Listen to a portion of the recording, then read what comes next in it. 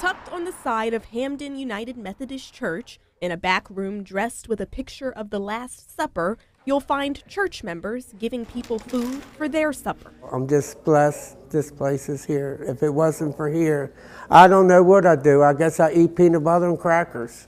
Bill Shipley comes to the Hampden Food Pantry two Wednesdays out of the month. Gets much more than just peanut butter and crackers. He's one of dozens of people that the small pantry serves. There is need. Um, a lot of seniors.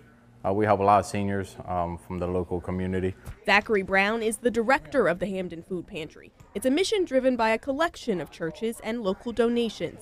And for Zachary, it's a family affair. His grandma served in the pantry for many years, his mom too, and she still serves. If I'm not sick, I'm here. I tried to bring Zachary up to help people, and I, this is the way he helps people. He enjoys it. Zachary and his team of volunteers pack 35 to 40 bags of food every week. They got all different, uh, all different items in there. They give it away from 9 to 11 the first four Wednesdays of every month. The thing is, most people are only hungry during Christmas and Easter. You know, that's when most people say, "Hey, let's let's give food. Let's say, you know, we need to help. We need to help." But people are hungry year round. So the pantry works to feed people year round I got wheat and with warm smiles and a helping hand. They make sure people leave with enough for a full belly and a full heart, too. That's what we're here for, is to help them and, and try to be good people.